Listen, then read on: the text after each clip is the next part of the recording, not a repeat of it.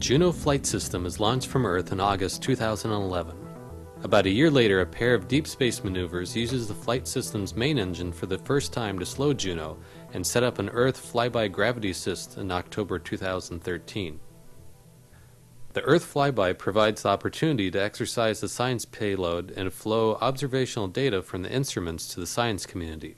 The Earth flyby also exposes the flight system to the only post launch solar eclipse of Juno's mission.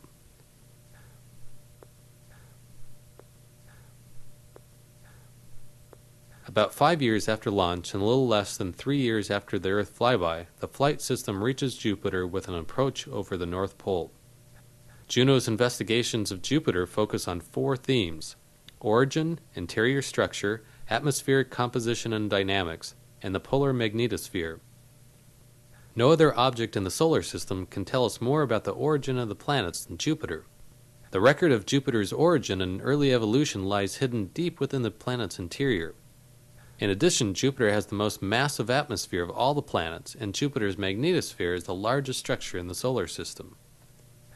The Jupiter orbit insertion burn is a mission critical event. Arrival is timed to provide dual DSN station coverage with the Goldstone and Canberra tracking complexes, and to correspond to a minimum in Jupiter's magnetic field, thus reducing the electromagnetic effects of a spinning spacecraft on key engineering subsystems. During the execution of the insertion burn, the flight system turns to a fixed burn direction and increases its spin rate before firing the main engine. The entire orbit insertion critical sequence is performed in view of the Earth. Subcarrier tones from the toroidal antenna provide flight operations team with necessary engineering information.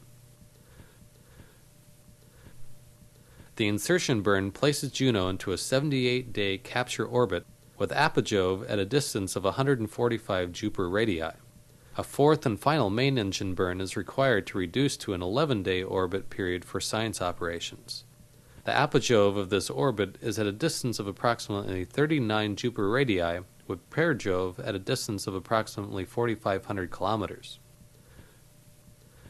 The first of two science orbit types, called an MWR orbit, is exercised on orbits 3 and 5 through 8, and is characterized by a flight system attitude in which the spin plane passes through the center of Jupiter. This attitude allows Juno's microwave radiometer and other remote sensing instruments to observe Jupiter's aurora and atmosphere during the perigee passage.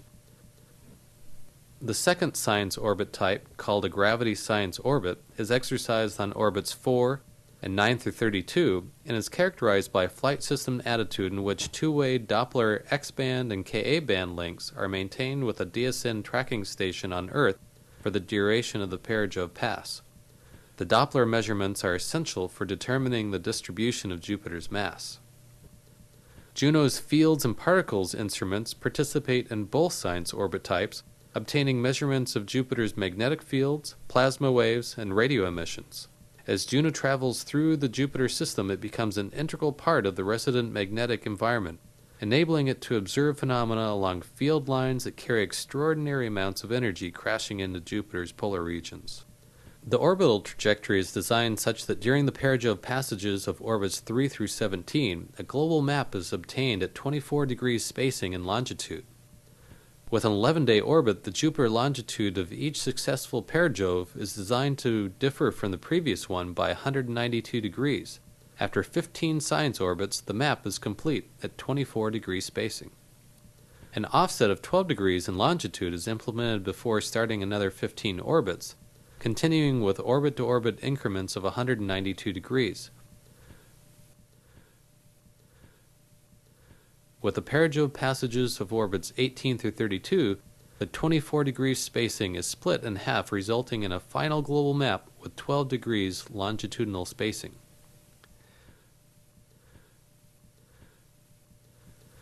Orbit 33 provides a perigee pass that has been held in reserve. It is designed to replace any longitude that may have been missed due to anomalous behavior on any single perigee of the previous 30 orbits.